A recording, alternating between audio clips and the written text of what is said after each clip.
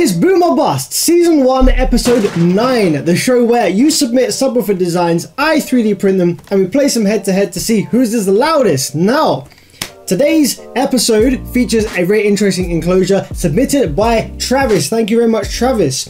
At first glance, this might look a bit strange to many of you, as it did me. We have what looks like a regular slot ported enclosure. However, instead of the driver being mounted to one of the faces so it can radiate outside and inside of the box, we have it mounted to the port. So the front of the driver radiates into the start of the port here, and the back of the driver radiates into the air chamber behind it. Now Travis said in his email submission, the design is based off an idea I've been thinking about for quite some time. The basic concept is based off a slot port fourth order box, but instead of having the woofer mounted on the outside of the box, I decided to place the woofer on the inside of the port. The idea behind this is theft deterrence, but I have never implemented the idea due to not knowing how it would perform. He says the full-size box was based off a 12-inch woofer with a tuning frequency around 32 to 35, and he called the STL file fifth order. Now I've had a pretty busy week trying to get this episode sorted and I haven't really researched much about fifth orders. I'm not really an enclosure design guru as such. I'm sure Hexibase will have plenty more to tell you about whether fifth orders are a thing and how they work than I will. So I'll let you do your own research to see whether this is actually a fifth order or whether this is just a regular ported box with the woofer mounted in the wrong place. But we'll see how it performs. I thought it was very interesting and I wanted to see what happened.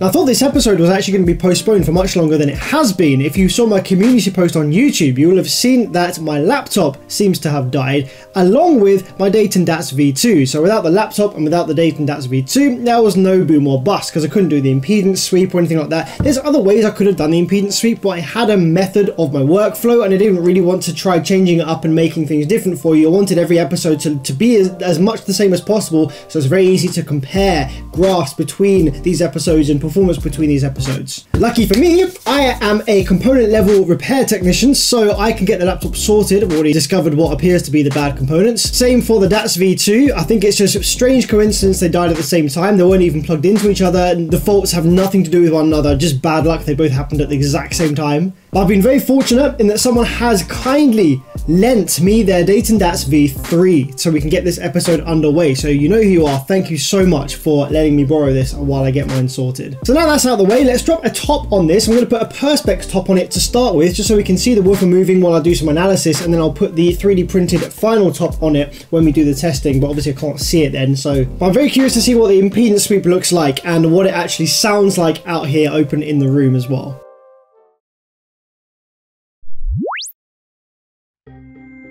Okay, so the good news is it has an impedance dip with two spikes either side of it, lending to the fact that it may have a Helmholtz mode that's actually going to do something here. The first impedance spike down here is at 113 hertz. That's fine. That's well below all the frequencies we're testing. So fully unloaded, no problem. Up at 10.8 ohms. Now the impedance valley here, the dip, is at 175 hertz. We're down at 5.4 ohms, which is still quite a bit higher than this woofer's nominal impedance. So we've still got a fair bit of rise going on there. So not a great deal of cone loading from the enclosure. Now that is smack bang in the middle of the two lowest frequencies that we test, 150 and 198. If we look at where 150 is, we're sort of halfway up this slope down to the impedance peak. So the 150 hertz up at 7.2 ohms. And the next frequency we test, 198, is very close to this second impedance spike um, up at 6.9 ohms. So I think we're going to get a fair bit of cone displacement going on at those two lower frequencies. The next two frequencies up, the 270 and the 360, have much less impedance rise, um, so we're probably going to go all the way up to 15 watts on those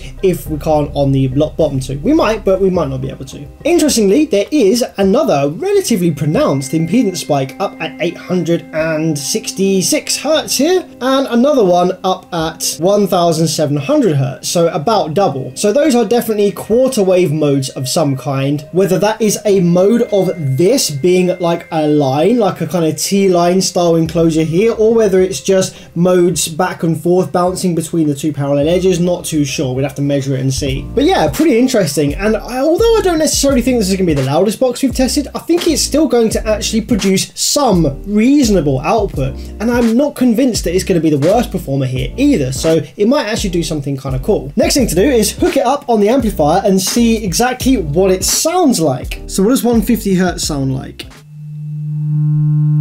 Oh, okay. It's definitely a lot of harmonics, a lot of distortion on the fundamental there, and there's also a lot of chuffing, there's a lot of port noise. It's like very... Mm. Also, it sounds like we reached mechanical excursion limit at about 9 watts there, so yeah, we won't be able to make it all the way up to the full 15 unless this cabin adds some additional loading to the driver, which I don't know if it will in this configuration here. 198 hertz, which scales to 33. Doesn't sound much better either. It's, it kind of sounds like. Mm, it's got a proper nasal kind of tone to it. With the added chuffing, it definitely sounds like a nose, a nose tone. 270 now.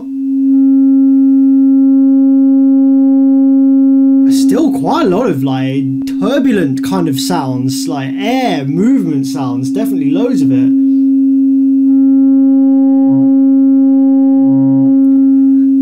What is that? I'm sorry, what is that? it plays a chord. What? Sorry, what? I have to get it all the way up to 20 watts in order to get it to do that, but beyond a certain level where I push it quite hard, the woofer obviously unloads or loses control in such a way that it farts a chord out, like a lower harmonic of that tone. Oh wow, that was quite a lot of power. That was 30 watts I just saw on here, so probably shouldn't do that for too long. The driver won't be lasting. But that's hilarious either way. Does it? I want to see if it does it on the uh, 360 as well. Is it 360? Okay, that's the cleanest one so far, which makes sense because it's far furthest away from what the box is kind of going to be adding to the driver. Okay, no chord on 360, just on 270. Yeah, it's not very loud, uh, but it is cleaner than the others. I'm just going to go back to this 270 and see if the power spikes when the chord comes in. Yeah, we add, as soon as that lower note comes in, it adds about 10 watts. So that means that the driver, the movement of the driver must be changing in such a way that the impedance absolutely plummets when that strange excursion thing happens and causes that tone. So on Room EQ Wizard, interestingly, the kind of fundamental shape of the sine wave actually looks cleaner than some others that we have actually seen, but it just sounds worse to the ear. Very strange how that happens, but as you can see, right up to the mechanical excursion limit of the woofer, it does start looking horrible. And there are also some signs of the white noise, the kind of chuffing sound overlaid on top of the sine wave there. It's not a great shape anyway to start with, but it actually does look a little bit less harmonic than some of the other ones we've seen before. Moving up to 198 hertz, it's much, much cleaner. It's much louder here at this frequency as well. And again, although it sounded pretty bad in person, it doesn't look too rough of a sine wave shape. It has more of a triangle shape to it though, like a triangle wave. It's very sharp at the bottom and the top with a relatively steep slope in the middle. And that may cause this nasal kind of sound that I'm hearing in person. With 270, this is going to be interesting. We have a okay-ish looking shape sine wave to start with, but we all know what's coming above that certain power limit.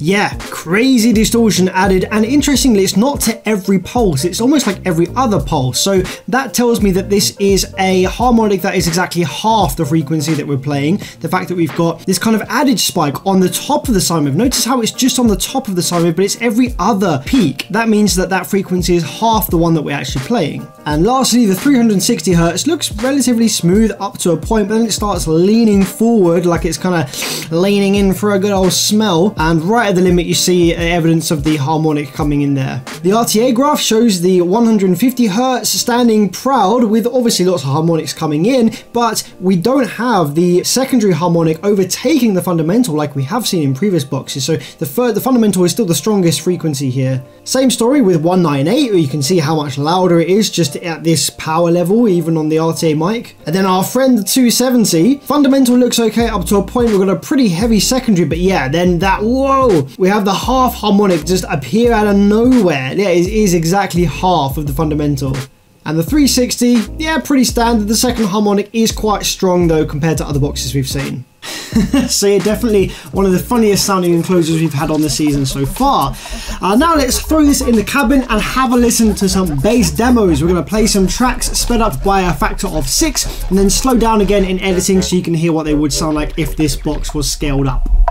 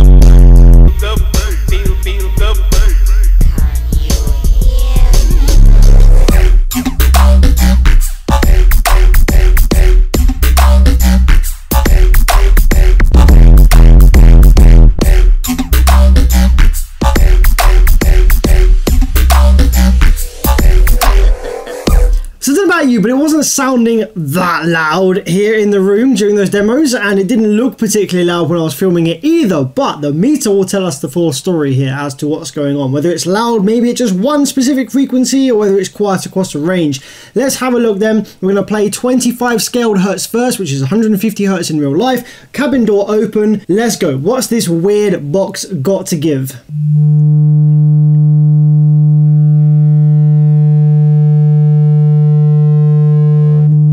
Okay, that was pretty much unloaded. I could hear the driver there just starting to give away. We got 136.6 dBs at 25 scaled hertz. Not the worst we've seen, I don't think, so fair play. 33 scaled hertz being a 198. This is on the way up to the second impedance spike. So we can go all the way up to 15 watts.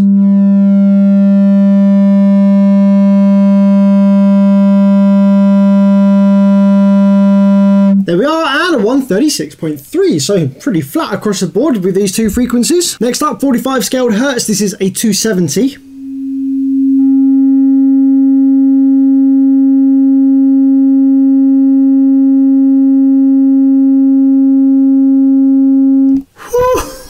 Oh my days.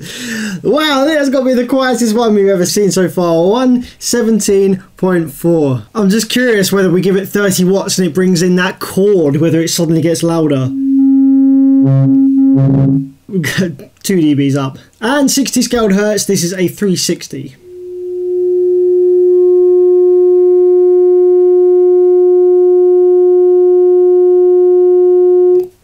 and a 118.5.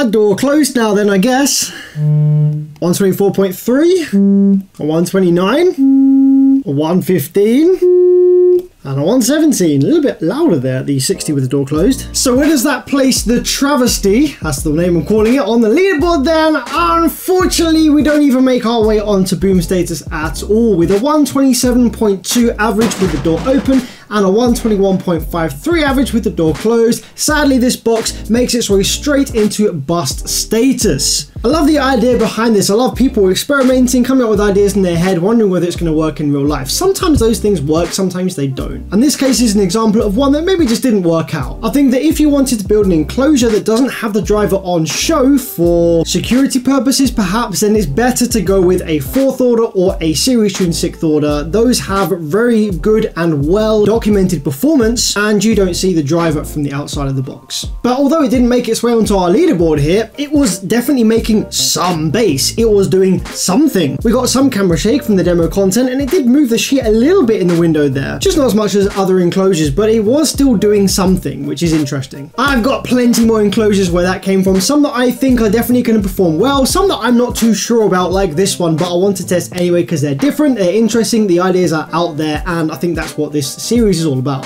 So now I've got the equipment sorted out, albeit the laptop's from like 2001. I can start doing these episodes twice a week again so expect another episode on Wednesday, hopefully. And if you want to have a go designing an enclosure that you think can get onto boom status or maybe even break the 140 dB average mark, then feel free to submit a design. All the details are in the video description to the instructions, TS parameters, box volumes, etc. that you'll need to know to submit a design. Also, if you're interested in sponsoring this series in any way with like a sticker on the cabin, sponsored message or segment in these videos, then drop me a message as well. There's a email address in the description. Once again, thank you so much for all the support and responses to my little community message showing that my equipment was dead and we wouldn't have Boom or Bust for a while. The response was incredible and uh, you're all very, very kind and very generous. And it's great to see that you're enjoying this series so much that you're willing to help me out to get this uh, up and running again. And for those interested in the repair content, I will probably make some video or some live stream or something repairing the laptop and also the DATS V2 in case you're interested.